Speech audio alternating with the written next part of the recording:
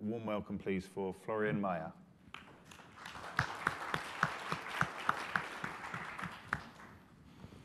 Thank you. Good morning, everyone. Uh, thanks for welcoming and thanks for having me here. Um, as I uh, learned, you already heard so much of Biotope already that I probably can skip half of my slides. Um, well, someone uh, representing a car manufacturer being on stage speaking about digital enterprises, uh, where will that end up? Um, part of why I'm here is to show you that BMW already is and becoming even more a digital enterprise. To do so, we identified four key fields we are focusing on. It's autonomous. Do you see? Oh, yeah. Sorry. It's autonomous, connected, electric, and shared. You, might, you may have heard of that fields already. Um, we refer to them under the abbreviation of ACES. Let me walk you through those fields. First, autonomous driving. How does autonomous driving work? You see here a picture of an um, autonomous car. You can imagine there are several sensors, LIDAR, radar, camera, GPS, many more. That unfortunately doesn't suffice. This is uh, the, the car to uh, successfully drive autonomous needs to more, needs to know more than it actually gets delivered by its sensors. The car constantly asks itself questions like, where am I laterally to my lane? What lies ahead of me? What is uh, beyond what my sensors can see. Therefore, um, we need some more information. As I said, this is what we call the HD, the high definition map. The high definition kind of acts as an additional sensor which answers that question for the vehicle.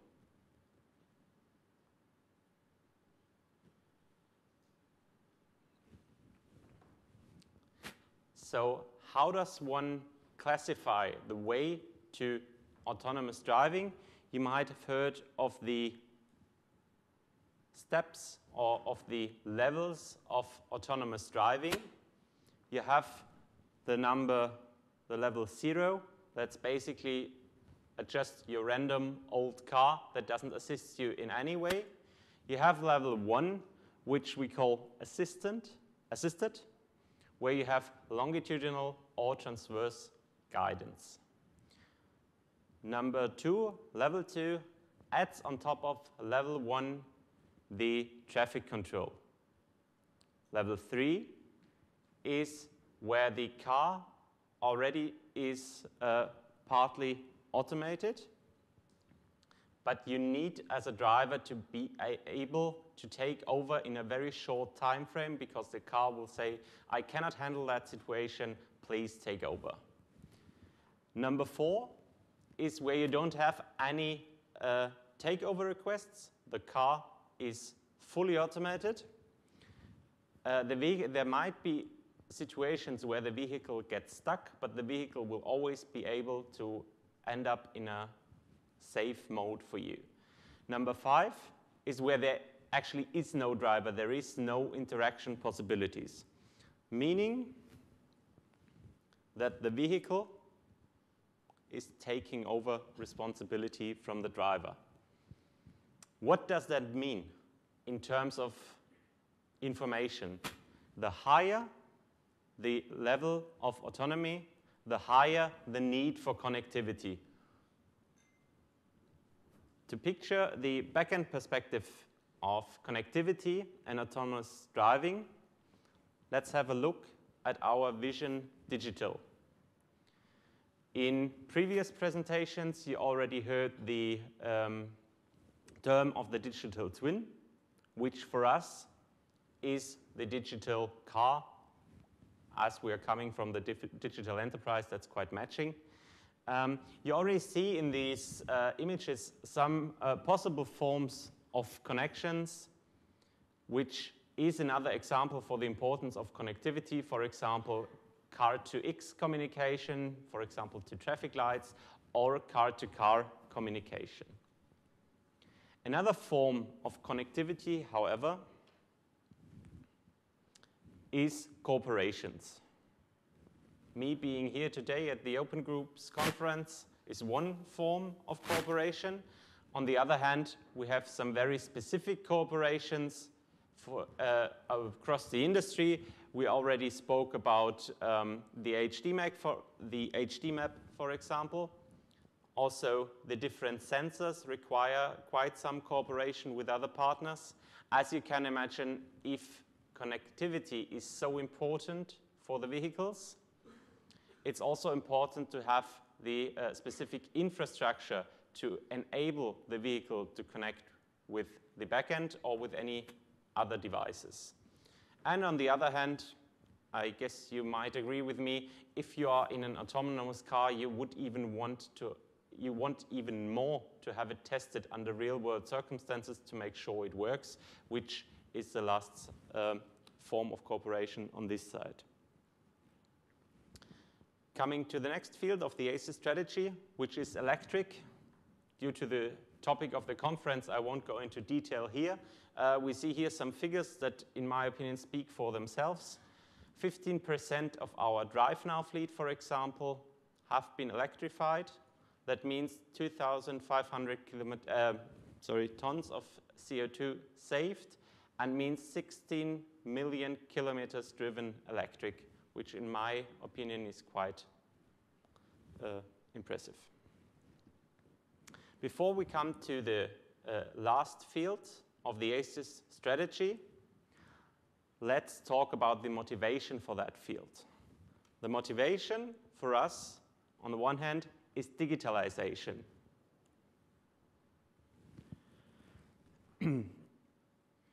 which, uh, after covering the last more technical fields of ACES is, in my opinion, quite self-explanatory, that they um, already influence the uh, ideas we have here. But what does digitalization mean for us in that context? According to what experts say, in the next 15 years, there might be more changes than in the last 100 years, in terms of mobility especially. That means we have people moving closer together. We have changes in customer demands. We have new players that have not been in the mobility market before. And we have value shifting. People consider not owning their own car as one of their goals, but considering just sharing a car to, uh, together with many other people. how do we act on those changes? We have, of course, as we always have, new vehicle concepts. We already spoke uh, about connectivity, here especially about intelligent transport systems.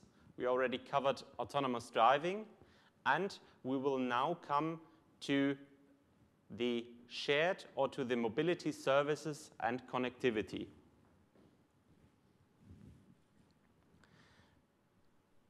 Have a look at this picture of the uh, mobility market, which of course is changing. Today, we are somewhere to the left. We have uh, a certain amount uh, of the need for mobility covered by public transport.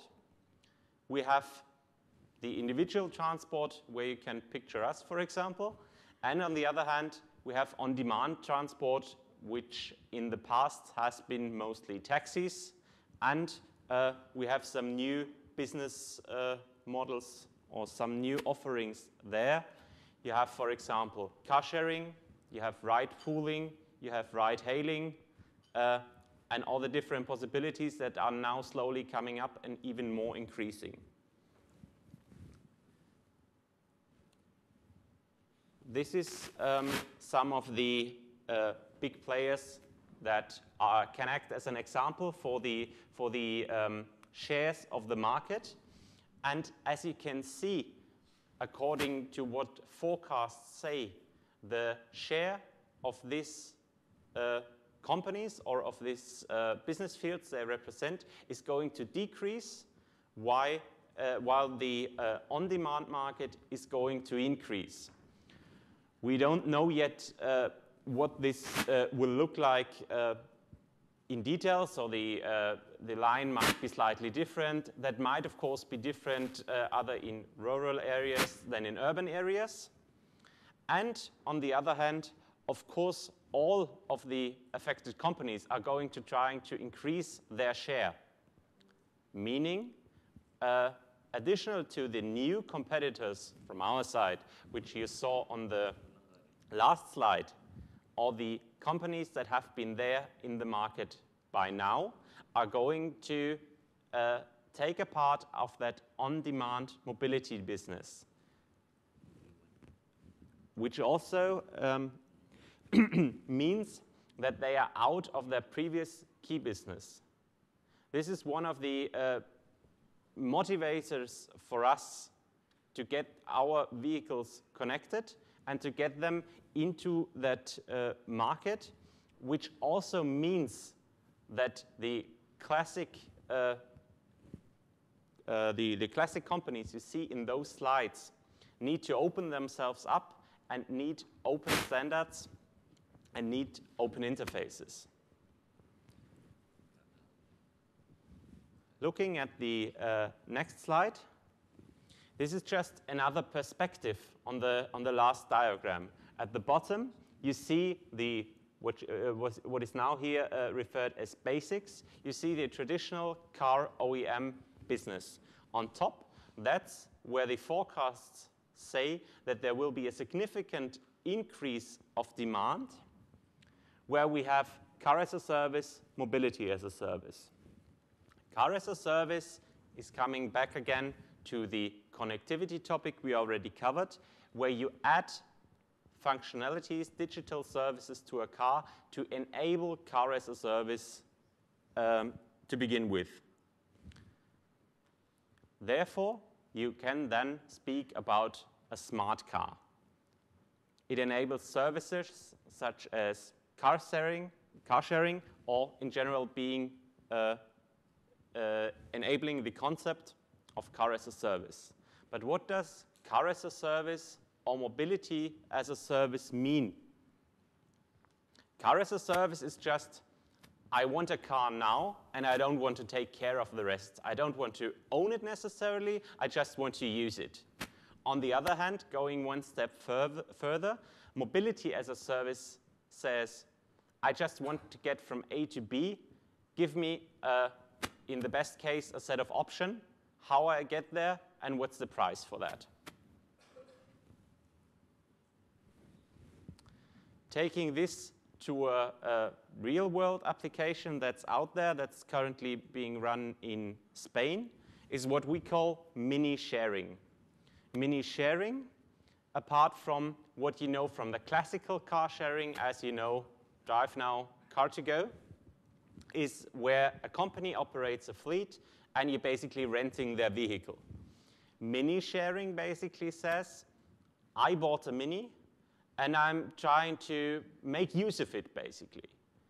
I'm uh, being enabled to give that mini to some people I know, I trust, to have them using it instead of uh, having the classical questions if you have a bigger family and one or two cars in general.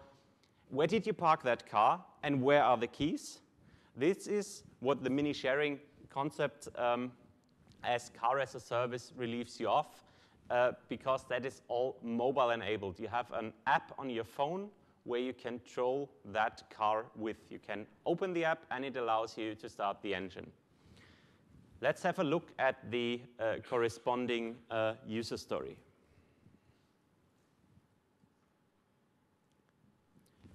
As a peer, as the one owning the car, you can invite other drivers.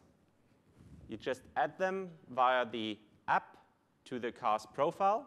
You have uh, different um, status of the car. So, for example, your wife, your husband, you can add as a VIP customer, which means they don't have to ask your uh, permission uh, for each time they use the car. But on the other hand, the normal customer is going to um, book the car, saying there is a, calendar. They see, for example, your neighbor, you're allowed to use your neighbor to car. Uh, sorry, you allow your neighbor to use the car, where you then open the calendar app on your phone, see the times the car is available, and being able to book it. In the next step, whenever the time is near when a customer or the, your friend, your peer, can use the car, he will be able to see where the car is located and being able to open the car and being able to um, uh, start the engine. In the next step, when bringing back the car, you just basically park it within the zone you have agreed on, close the car with the app, and the booking is done from the driver's side.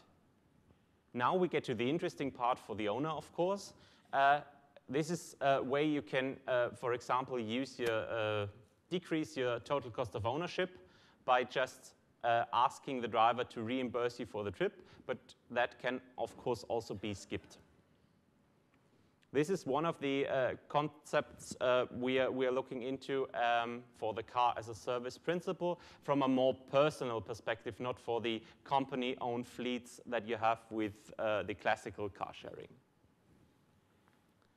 The next slide gives you an overview of uh, how much time a car actually, or should I say how little time a car actually is used. The first line is just your own personal car. You see in the next slide how the increase in percent gets increased, uh, how, the, how great the increase is if you have a shared car.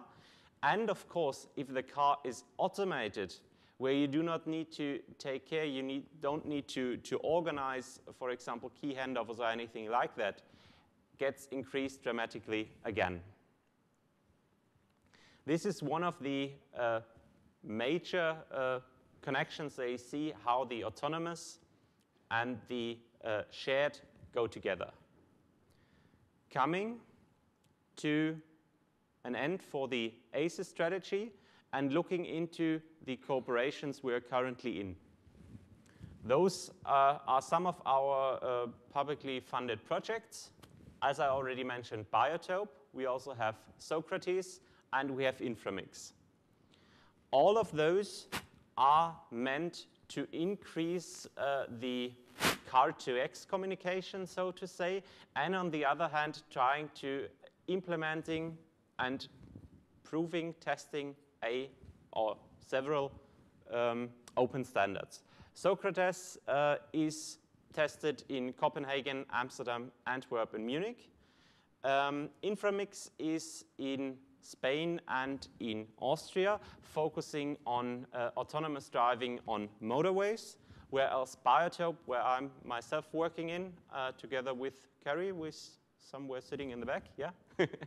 and um, Biotope is focusing on Helsinki, Brussels, and Lyon. Of course, those uh, cities aren't uh, the, the, the, final stage for the project, but those are our test sites.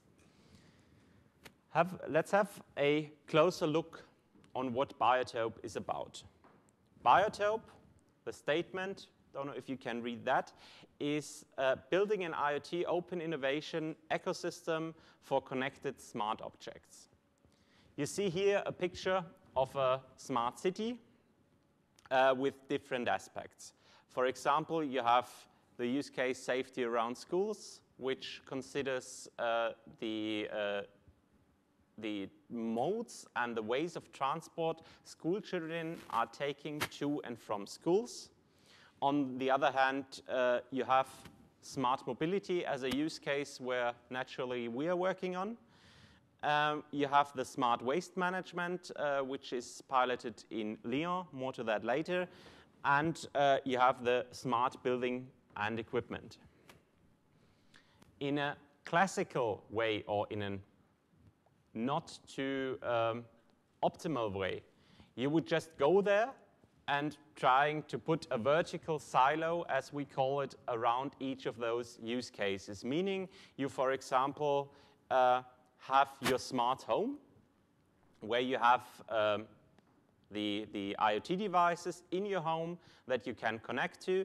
Uh, those devices control your home. You might have an app. You might have the um, manufacturer's backend to control those. But there is no connection out of that silo. What we have done in Biotope is trying to get those data connected with, uh, between the certain use cases. So for example, the smart home and equipment and the smart mobility on the other hand. Let's have a closer look at the um, smart mobility use case, which uh, currently is being tested. Uh, implementation is almost done. Um, it consists of five proof of concepts the preconditioning, where the car is taken to an, uh, the, the uh, air condition of the car is activated in advance to the driver's arrival to get a comfortable environment for the driver when he arrives in the car. We have the driver identification and data usage. We have the real-time traffic information. We have the smart parking and the smart charging. Um, preconditioning and driver identification and data usage are mostly focusing from our side. They are uh, selected as proof of concepts to show um, the concept of context awareness and uh, context, sorry, context sensibilization. Uh, the real-time traffic information is to show the interlink with the other use cases I mentioned earlier. And the smart parking and charging especially is about standardization. If we look at the smart charging, smart parking, you see the architecture overview.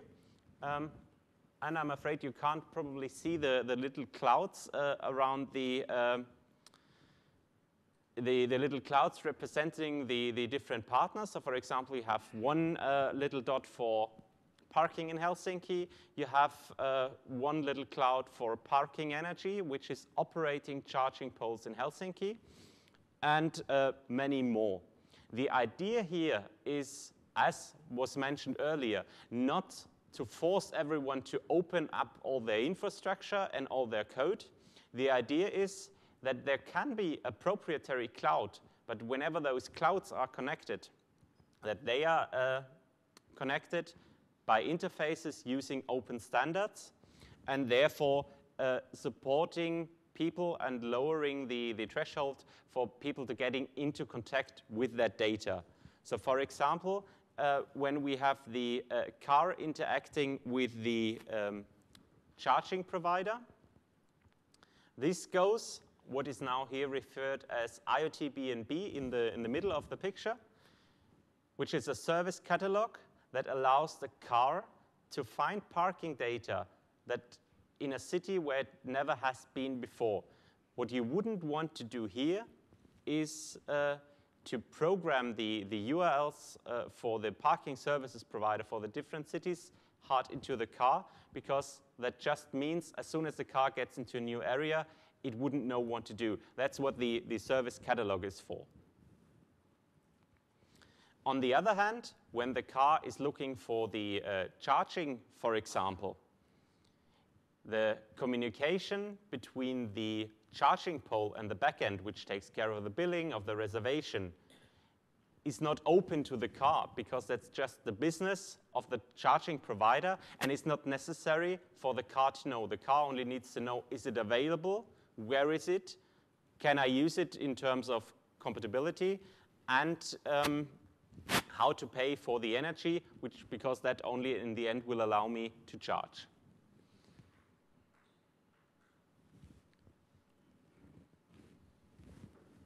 You see here uh, the steps we have been taking. Um, to some of you, the OMI ODF standard we are using in Biotope might, may already be familiar. The problem is that people tend to say, for example, with parking, the city do, do have open data portals. What is it you are actually going for with, with Biotope? The problem is that open data doesn't necessarily mean that we can understand and interpret the data especially with parking, you wouldn't think uh, that a car manufacturer has problem interpreting uh, parking data, but it's not always that easy. There are examples out there where the data is available and uh, even is uh, real-time enabled. The problem is it's just some propri proprietary JSON format we cannot interpret. That's where we are going for open standards. So for example, MobiVoc or the OMI ODF standard. This is the uh, coming to that thought of the interface where uh, Kary is usually uh, using the, the picture of an hourglass, where you have within your islands can use many standards. At the interface, uh, you use a very restricted, limited set of standards. And on the other hand, for example, the network protocols, you use whatever you need. Coming to the next use case of Biotope, which is a smart waste management. What you see to the right of the map is a bottle bank. And on top of it, you see a small IoT device that just measures the filling rate of the bottle bank and sends that back to the back end of the car. The, uh, not the car, sorry, to the back end of the city. The city uses that data to know when a bottle bank needs to be emptied. And as it's open data, you can also visualize that on a map. They plan the most effective routes for their waste trucks around the city to collect uh, the bottle banks that are in need of collection. And this is one of the uh, interlinks that are quite nice in Biotope. What we are looking into is we know where the car, uh, where the waste truck is, and we know where it most likely will stop because it has to empty the bottle bank. If you're driving a BMW, that's most likely not the area you want to go in that very moment because that will uh, prevent you from driving and will just keep you there. This is one of the uh, applications where we can see the connection between the two use cases might be beneficial, even if you didn't think in the first place that smart waste management and smart mobility would have something in common. Next thing is our connection between the smart home and equipment and the smart mobility.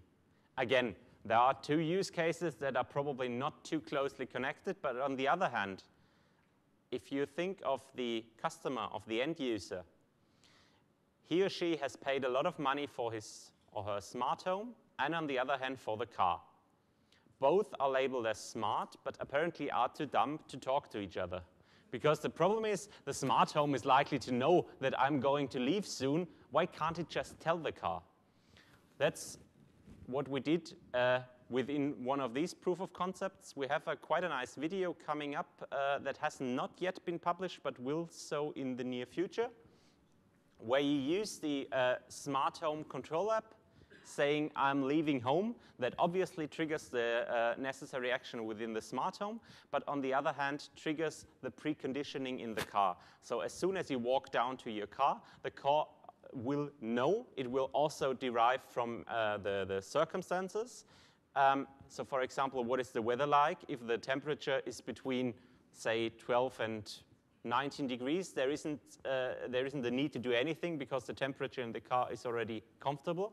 But on the other hand, if the uh, temperature is, say, below 25 degrees, uh, then the car will already have turned on the air condition, uh, which on the one hand, is quite comfortable because the car has the right temperature when uh, the person arrives. But on the other hand, is also economically because the car is most likely, if you're at home and it's an electric car, for example, it is connected to the grid, meaning uh, the time the air conditioning is running while the car is connected doesn't get deducted from the range of your car.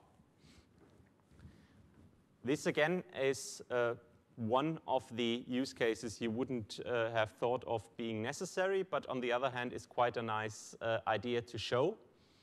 And these actually leads me to my final statement, which I just uh, chose to use from our members of the board.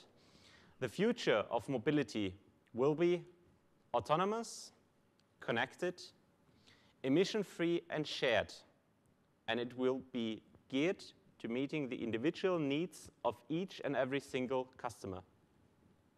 Thank you.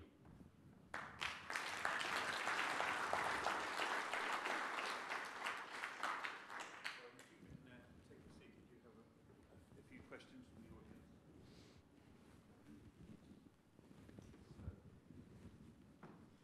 Um, What is your view on the enabling infrastructure, such as vehicle-to-vehicle or vehicle-to-infrastructure?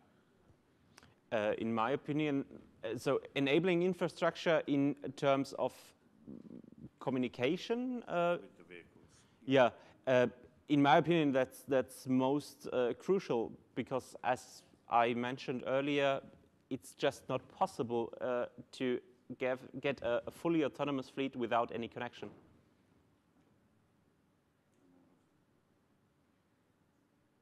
Could just speak up. Shall I just use this one? I'll try using the handheld. No, it's not on.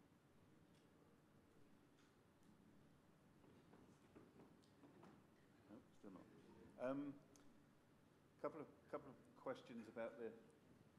Still not on. A Couple of questions about the mini sharing example that you gave. One is what's the what's the motivation for the driver, the vehicle owner, sorry, in in that um, in that uh, example, um, and what technology components are deployed on the car to enable it, uh, and how do you ensure security? Uh, the motivation for the co-owner, in my perspective, can be two. One would be if you, for example, use the uh, example of a neighbor again to just get my car used because I will pay for it regardless if I use or if I don't. So if you have your neighbor reimbursing you for the use of the car, that uh, might be interesting for me. And the other thing might simply be convenience, because if you use it, uh, say, within your family or very close friends, uh, then there isn't the, the need to search for the key or search for the car, especially if you have an area where uh, it might be a quite wide area where the car can be parked. And the, the second part was what what technology components are deployed um, to enable it, and how do you ensure security? Um, there is a, a component um, being introduced uh, into the uh, car at the plant, uh, and the connection to the mobile is uh, so the, the, the connection between the car and the uh, mobile phone is running via Bluetooth Low Energy, and um, as it's being introduced in, in the plant and going through the, the same steps, I would say the uh, security is the same as you have for uh, the irregular car keys. Um, so another, another question on security. Um, how are the new and unique security threats in a smart and connected environment being addressed? We've all heard stories of cars being hacked and things like that. I hope not ours, but uh, yes. Um, that, that most certainly is an important uh, topic. Um, I'm afraid regarding the uh, autonomous cars, I'm not the specialist my, myself, uh, but there are quite some people working heavily on that. I can show you as much. I'm sure, yeah. Um, what are some of the management capabilities in fleet management and car condition monitoring and problem fixing on the fly that have been explored, if any? I'm Um, management capabilities, so fleet management and car condition monitoring and problem fixing. It's very problem fixing on the fly. Um, I guess if the cars are, uh, I'm, I'm interpreting the question, but I guess if the cars are um, somehow being being part of a fleet um, that are being shared, um, that may change how the uh, how that fleet is managed and how the cars are looked after in that fleet. Uh, yeah, that definitely is one case. Uh, so I just assume that the, the question refers to the uh, station-based or the, the free-floating car sharing as uh, DriveNow, for example, uh, where you definitely need to, to take care. So with DriveNow, for example, you have um, the, the customer being asked of the condition of the car before starting the trip and afterwards. And uh, therefore uh, actions will be triggered if necessary if the vehicle needs to be refueled, repaired, or anything. And on the other hand, with uh, DriveNow, it is the case that uh, if, you uh, if you simply think of refueling, that's also a step uh, the customer can take care about if he, she, he or she wants, and will get rewarded with, um, with free driving kilometers or minutes on that. Um, let's see. What data processing capability have you identified both in-car and in-cloud given the heavy volumes and velocity of data? Data, data, data, data processing capability. I think there is uh, still much to, to explore on, on that topic. Um, but you're, you're right, uh, with the car getting smarter and smarter and the uh, capability uh, for communication increasing, it's always uh, the, the um, possibilities just grow uh, even more than they have in the, in the past. Yeah, and the volume of data goes, yeah. goes up and up. Um, let's see. Uh, what is the mechanism recommended by each platform to expose and consume services available in each platform? And somebody's put sounds a bit like IT4IT's request to fulfill. Um, so that's probably someone from our IT4IT forum. but the, the, real question is what's the mechanism recommended by each platform to expose and consume the services available? So for uh, Biotope, this would be our uh, service or data marketplace, the IoTBnB, where you can offer your data, um, putting a price tag to it or don't. But um, in general, that would be the, the place to advertise the, the service or data. Um, how widely are the Open Group's OMI and ODF standards used across the BMW electric vehicle fleet? This is a bit of a, a, a complicated question. Um, at the moment, what we are uh, doing in uh, Biotope uh, has not yet reached the um, productive environment. That's, as you can imagine, uh, a rather uh, complicated uh, process to ensure the compatibility compatibility with all the other components inside the car and within our backends. Okay. So maybe, maybe in the future we'll, I will ask the question again. Um, and finally, what activities are being undertaken by the projects to facilitate the regulatory aspects, such as insurance and traffic offences of shared vehicles?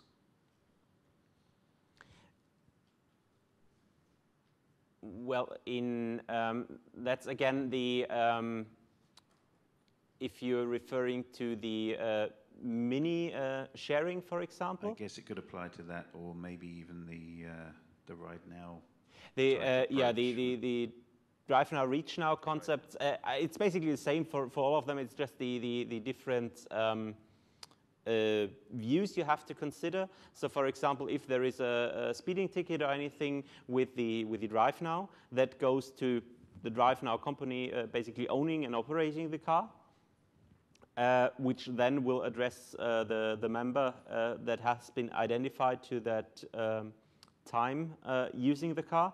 And it's the same with the, or the, similar to the, to the mini sharing, uh, where also the, the system keeps track of who used the car and when. So if we stay with the uh, example where uh, the family is owning the car and the, or the, the, one of the people is using the, uh, the, let's say the head of the family is owning the car and the other members of the family are using it, then the people, uh, then the person where the, uh, the car is registered to will receive the speeding ticket, and I think he or she will take care of that ticket as well. Right. Okay, and one more has just come in. Uh, which of the use cases that you described is most advanced in its testing? Uh, of course, smart mobility, because we are in it. Uh, no, uh, I think uh, most of them are, are quite advanced. Um, the smart mobility, smart mobility use case indeed has been tested successfully in Helsinki. Um, whereas the um, smart waste management, for example, the, the step one, where you just um, measure the uh, filling rate is uh, has already has also been successfully tested, but that one has another um, another time frame, another schedule. So uh, there is more still to follow on that one. Florian, we'll leave it there. Thank you very much for your uh, contribution and presentation.